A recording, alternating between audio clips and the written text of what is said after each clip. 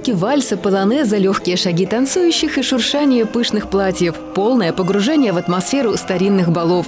Разве что мобильные телефоны в руках гостей, снимающие вальсирующих дам и их галантных кавалеров, возвращают современность. Церемонимейстеры бала Мария и Алексей Бакины, руководители Клинцовского клуба исторического танца «Феникс». Они помогали новичкам освоить азы бальных танцев на репетициях и руководили процессом в ходе, собственно, самого бала. Они интересные, они э, живые. И на занятиях, когда мы приезжали к ним, они горели, у них глаза горели, они хотели танцевать.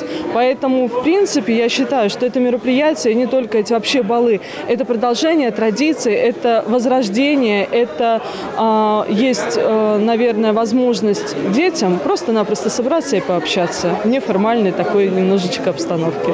Классический полонез, вальс, польку, галоп сменяют блюз и кадриль, игра «Ручеек» и котельон «Мельница». В общей сложности в мероприятии приняли участие около 40 пар. Для многих это уже далеко не первый бал, как и для Артема Нечипаренко, который, попав сюда единожды случайно, последующее мероприятие не пропускает. Первый раз я думал, будет не очень, очень, но потом втянулся, и я говорю, все, теперь без меня ни один балл не будет проходить. Невероятное мероприятие, которое должен посетить каждый человек и ощутить ту самую атмосферу. Прекрасные люди, танцы, хореографы наши просто изумительные. Впечатление с каждым годом все лучше и лучше.